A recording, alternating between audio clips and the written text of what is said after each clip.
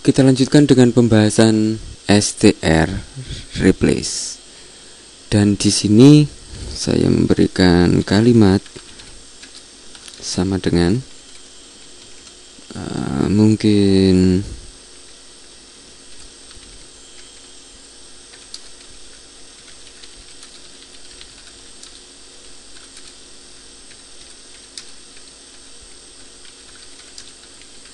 mungkin semacam ini. Dan saya mau memberikan ini eho dan str garis bawah replace. Lalu di sini ada tiga argumen tiga parameter. Dan yang pertama itu adalah kata yang ingin diganti. Dan yang kedua adalah kata pengganti dan di sini adalah kalimat yang diganti. Variabel yang diganti di sini saya memberikan kalimat. Di sini saya mau mengganti dengan di datang. Saya ganti dengan datang huruf besar semacam itu dan jika saya simpan sekarang lalu saya pergi ke sini dan di sini saya sudah mempunyai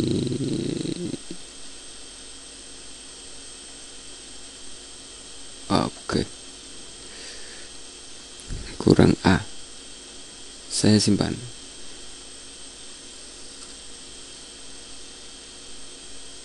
Hmm. Hanya di sini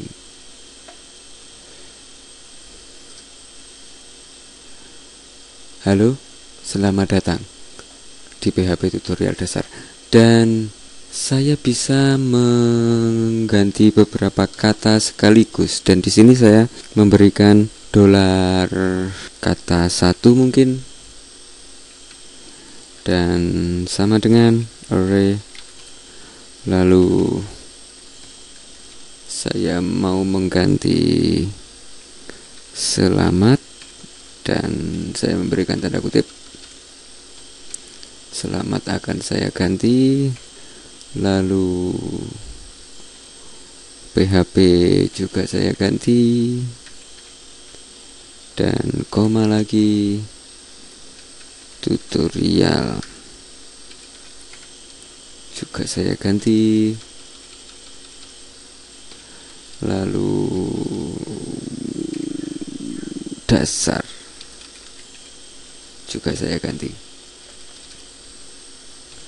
Dan di sini saya memberikan dolar kata dua dan di sini array juga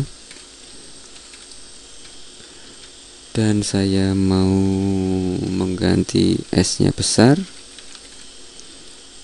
lalu koma dan PHP besar koma lagi dan tutorial besar. Dan koma lagi dasar huruf besar. Dan jika saya simpan di sini lalu saya pergi ke browser. Oke okay. di sini belum kita perintahkan kata satu dan kata dua dan saya di sini hanya memberikan dolar kata satu dan di sini dolar kata dua. Yang diganti ini sebagai penggantinya ini. Jika saya simpan sekarang dan saya pergi ke sini reload saya sudah mempunyai semacam ini. S-nya besar dan PHP besar tutorial besar semua. Dan umpamanya ada komentar mungkin ada umpatan macam-macam. Anda bisa membuat di sini mungkin umpatan satu apa, umpatan dua apa, umpatan tiga apa, dan di sini mungkin Anda bisa mengganti uh, terima kasih, mengganti apa, mengganti apa. Jadi nanti setiap ada orang yang menghentikan sesuatu dengan kata atau susunan karakter tertentu tertentu di halaman komentar langsung diganti dengan kata yang sudah Anda buat di fungsi ini. Oke, sekian tutorial tentang string replace dan kita lanjutkan ke tutorial selanjutnya. Salam.